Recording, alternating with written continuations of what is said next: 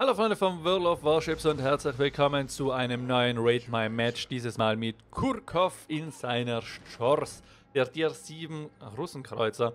Da beginnt die Russenkreuzerlinie gut zu werden. Machen wir mal die Karte groß. Hier sehen wir, die Karte spielt ein bisschen verrückt. Wir sind in einem Tier 9er Match gelandet mit vielen Achtern, ein paar Siemern. Uh, das ist nicht so gut. Schauen wir mal. Ich weiß ja, bei A werden wir abgeschnitten, also A ist ein bisschen abgekapselt, B ist ziemlich offen, C, wo man es ja jetzt nicht sieht, hat ziemlich viele Inseln und wenn ich im Kreuzer sitze, vor allem in einem Russenkreuzer, dann ist mein liebster Ort hier C. Hier kann ich mich nämlich hinter den Inseln verstecken. Hier kann ich ein bisschen arbeiten. Hier kann ich dann Radar zünden. Gut, das hat die Shores hier nicht, aber für eine Dimitri Donskoy und deren Reichweite ist das auch gut. Die Shores müsste ähnlich wie die Chapayev nicht 17,8, aber ich glaube 17,7 Kilometer Reichweite haben. Das bedeutet, Kurkov hat hier, Krukov, nicht, warum sage ich Kurkov? Kurkov ist irgendwie russischer. Jedenfalls, Krukov hat hier noch die 15,2, das heißt, er hat nicht die zweite Feuerleitanlage erforscht. 32.000 XP, uh, da muss ich jetzt nochmal nachschauen. Ich glaube, Kurkov, Krukov hat mir auch ähm, die äh, Ausbaustufe geschickt von seiner Shores. Die habe ich mir vorher angeschaut, aber ich habe jetzt zweimal das äh, Replay begonnen. Das Replay, das äh, Rate My Match. Hier ist übrigens die Mail und äh, da steht drin, er tut sich schwer mit der Positionierung. Da steht auch noch was drin wegen dem deutschen Hakenkreuz. Darauf gehe ich dann später in der Endabrechnung ein. Deswegen beginne ich jetzt zum zweiten Mal. Beim ersten Mal habe ich nämlich auf Slow Motion geschalten und äh, habe das dann hier abgehandelt und da musste ich husten und habe dann vergessen, das Mikro wieder reinzuschalten. Deswegen war das ganze, ganze Rip My Match für den Arsch. Deswegen hier kommt Chance die zweite, aber keine Angst. Ich habe es nicht weit gesehen, ich habe am Anfang nur zu lange gelabert und dann musste ich husten. Also ab hier habe ich schon nicht mehr gesehen was denn da passiert. Von der Positionierung her, ja, C ist gut, Chapayev, Kagero kann man unterstützen. Man sieht hier ist ein Friedrich der Große mit einer Z46 und die Atago, das sind alles Gegner, die ich in einer Chance natürlich nicht unbedingt sehen will. Die Atago kann sich heilen, die Z46, die ist ein Zerstörer mit Hydro und mit äh, Smoke. Das ist immer gefährlich, obwohl man die Chapayev da hat, aber die Chapayev kann schnell rausgenommen werden, weil hier auch Friedrich der Große ist und auch die Norka ist in Reichweite. Eieiei, Friedrich der Große kommt jetzt gleich in Reichweite von der Shores, die kann nämlich nicht weiter als 21 Kilometer schießen.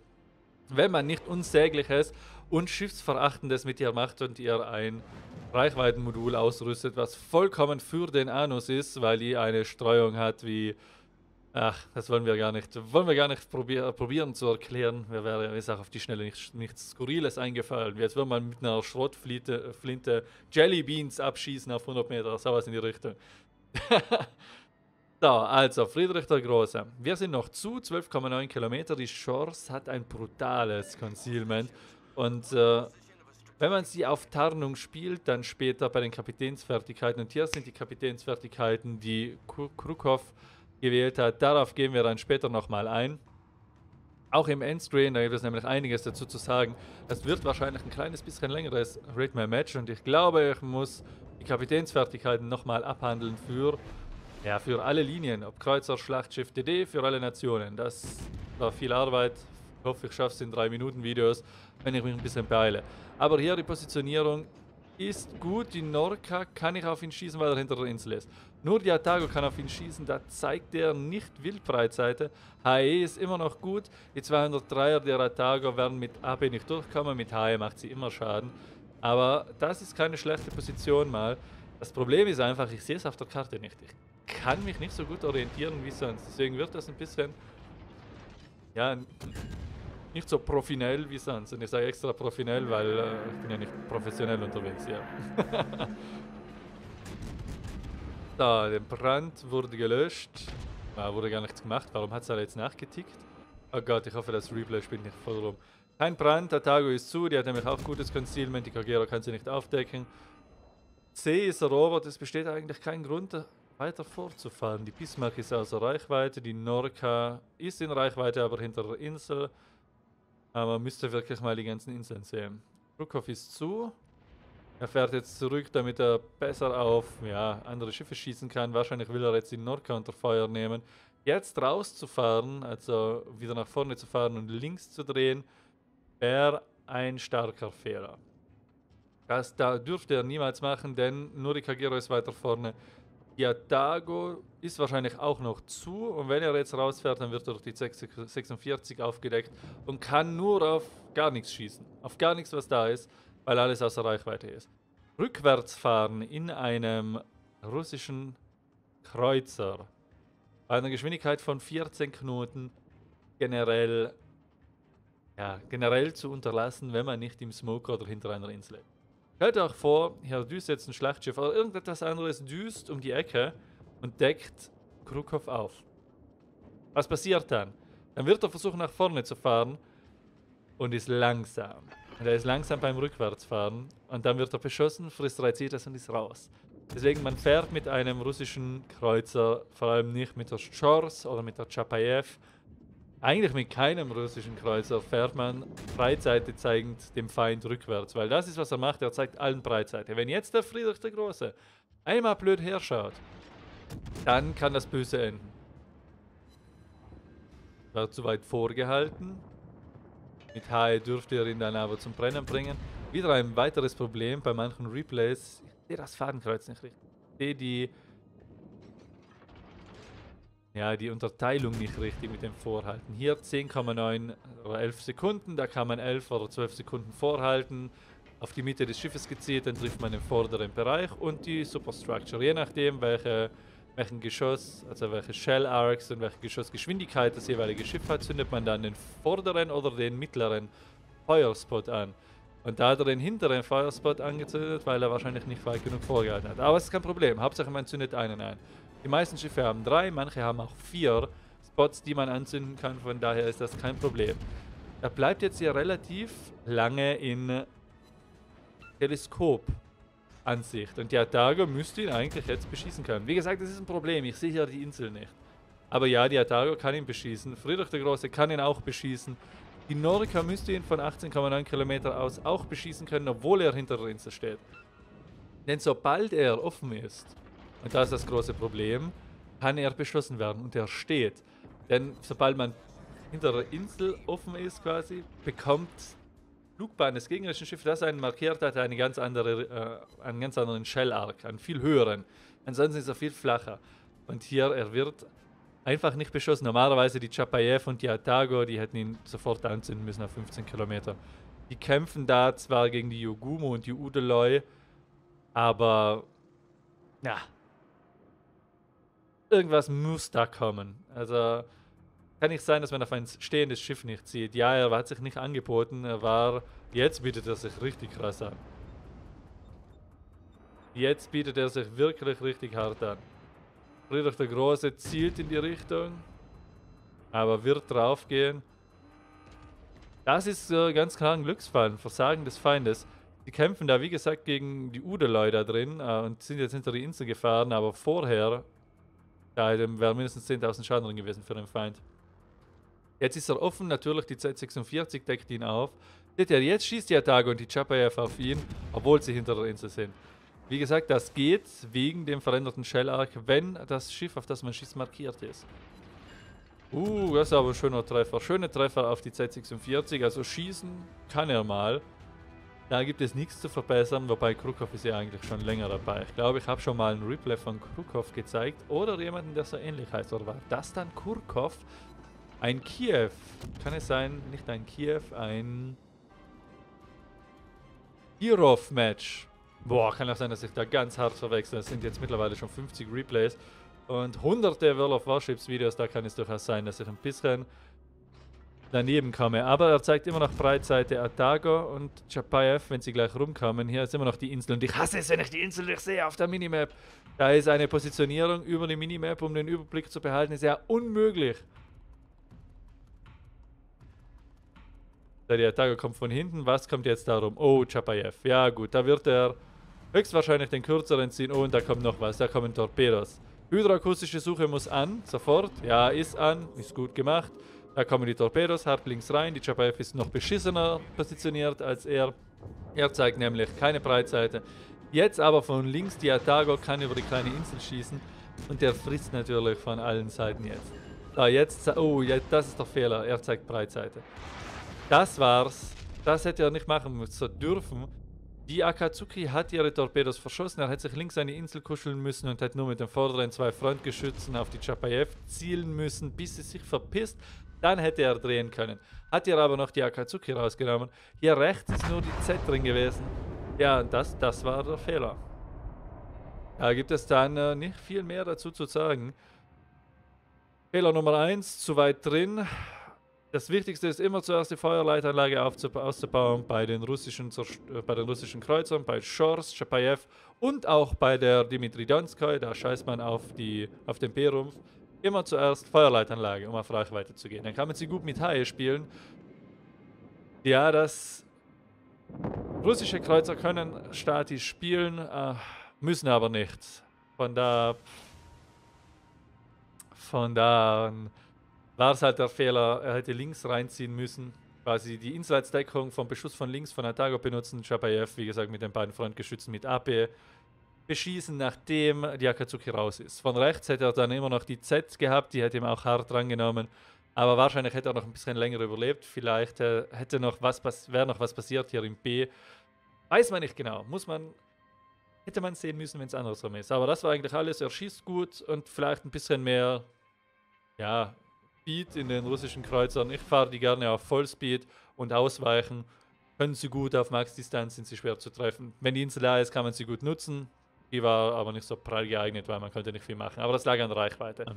Kommen wir jetzt zu dem, was wir am Ende besprechen wollten, nämlich hier einmal die Kapitänsfertigkeiten, die mir Krukov gesendet hat. Ihr seht es hier, zwei Einser-Skills, drei Zweier-Skills, ein Dreier-Skills. Das ist ein typischer Fehler, den manche Leute machen. Immer wenn ein Skillpunkt verfügbar ist, wird er eingesetzt. Wichtig ist aber, dass ihr in jeder, in jeder Kapitänstierstufe nur einen einzigen Skill auswählt, bis ihr auf der Stufe 4 seid. Denn da kommen die guten Skills. Da kommt Tarnmeister, da kommt AFD, da kommt Brandbekämpfung, da kommt Secondary, da kommt das, worauf ihr hinspielt quasi. Deshalb für die russischen Zerstörer einmal hier den 1-1er Skill. Der wurde aktiviert und 1, meine ich, erste Reihe, erste Spalte. Der wurde gewählt der ist dafür da, dass man sieht, wie viele Schiffe auf einen zielen, also welche man welche einen aufgeschaltet haben. Ganz wichtig für die Russen. Dann bei den zweiten, da ist jetzt natürlich die Frage, die Wahl, drehen die Türme schnell genug? Wenn ja, dann nimmt man den 2-7er. Das ist der erste in der Vielseitigkeit hier. Das hat er auch gemacht. Das bedeutet, je niedriger die HP, desto schneller ist der Reload.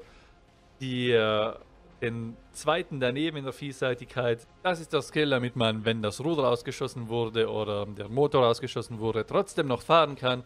Der ist nett, aber wenn die in die Situation kommen, außerdem hat man da Repair. Wenn die Türme nicht schnell genug drehen, dann natürlich den 2-3er hier, Elite-Schütze.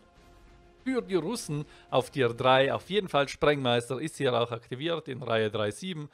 Also Spalte 7, Reihe 3. Und hier bei der Vierer ist bei der Chars, würde ich auf jeden Fall den Tarnmeister dazu nehmen. Geht man ja nicht schneller zu, aber kommt näher ran, näher ran, wenn denn ein DD daneben ist. Ansonsten ist nicht unbedingt was wichtig da. Da kann man natürlich auch, ja, auf mehr HP gehen, weniger Brand. Man kann auch oben ein bisschen wildern. Bei DR7 ist es noch nicht so wild. Aber jedenfalls die Pflichtskills 1-1, 2-7 und 3-7. Das ist wichtig und danach ist alles im eigenen Ermessen. Kommen wir jetzt zur Thematik der Endscreens. Hier sieht man noch nichts, das war ein Sieg, 30.000 Schaden. Ja, das ist für eine Chance 30.000 bis 40.000 Schaden. Das ist alles das im grünen Bereich, da muss ich dir keine Sorgen machen, Krukov. Hier sieht man es. In der Endabrechnung hier werden Mods benutzt. Hier ist zum Beispiel die russische Sichel der Sowjetunion. Hier ist die Flagge des Kaiserreichs, quasi die Kaiserflagge der aufgehenden Sonne. Dann haben wir hier die Takao, da ist gar nichts, nur Bullshit. Bei der Yogumo haben wir ebenfalls die Kaiserreich-Flagge. Und hier bei der Bismarck haben wir keine Flagge. Beim Friedrich auch nicht. Nirgendwo haben wir hier Flaggen. Wir haben das auch in der, in der besseren Auswertung, quasi im ausführlichen Bericht. Und hier ist auch nochmal der Vollständigkeit halber die Kreditpunkte. Und da wechseln wir zurück auf die Teamauswertung. Ihr seht es, hier ist keine Flagge. Warum ist das so? Weil in der Mail zuerst stand, er hat quasi eine Mod drin für historische Flaggen. Und da ist natürlich auch die Swastika des nationalsozialistischen Regimes drin. Quasi die um 45 Grad geneigte äh, Swastika, rechtsläufig glaube ich, das, äh, die dann in die Flagge des Deutschen Reiches aufgenommen wurde. Quasi die, die Heraldik, Flaggenkunde, die Wappenkunde zeigt uns oder würde uns hier ein, ein Dritte Reich-Flagge zeigen, welche die äh, deutsche Kriegsmarine auch benutzt hat. Das heißt quasi eine historische Flagge. Er hat sie jetzt rauszensiert, äh, weil er nicht wusste, ob ich es sonst zeige oder wo, ob mir das dann recht wäre oder so. Und ich muss sagen, mir persönlich ist das egal. Denn er benutzt nicht die dritte Welt, äh, dritte Welt, die, die dritte Reich-Flagge hier, weil er es geil findet und weil er sich dann besser hineinversetzen kann in die Nazis und die sind so super toll, sondern weil er generell eine historische Flaggenmod benutzt. Und äh, das machen halt Leute, die die Geschichte so akkurat wie möglich äh, repräsentiert haben wollen in einem Spiel. Warum das Wargaming nicht macht, kann ich verstehen, weil es zu viel Arbeit für sie wäre, wahrscheinlich das rauszunehmen für Österreich und Deutschland. Denn Österreich und Deutschland haben ja ein Verbot der nationalsozialistischen Zeichen weiß nicht, ich glaube 1945 Deutschland, 1947 haben, haben die Österreicher ein Verbotsgesetz, was es verbietet, auf ja, parteilichen oder politischen Ebenen, bla bla, das alles herzuzeigen. Ich persönlich als Privatperson finde es gut, dass nationalsozialistische oder generell faschistische, rechtspopulistische Parteien verboten werden, mit dem Hintergrund des Nationalsozialismus oder der Rassenlehre der Eugenik. Weil das alles Bullshit natürlich. Aber was die Historie betrifft, und so wird es auch in der Kunst oder in Ausstellungen gehandhabt, in Deutschland und in Österreich, da ist es erlaubt, quasi diese nationalsozialistischen Zeichen zu, zu zeigen, auch äh, Dolche der SS oder die Totenkopfuniformen etc. Das ist alles erlaubt zu diesem Zweck. Was ich allerdings nicht gut finde, ist, dass es in Spielen nicht erlaubt ist. Denn Spiele sind, wie bekannt ist, auch eine Art der Kunstform. Ja, das ist wahr. Und man sollte sich vor der Geschichte nicht verstecken.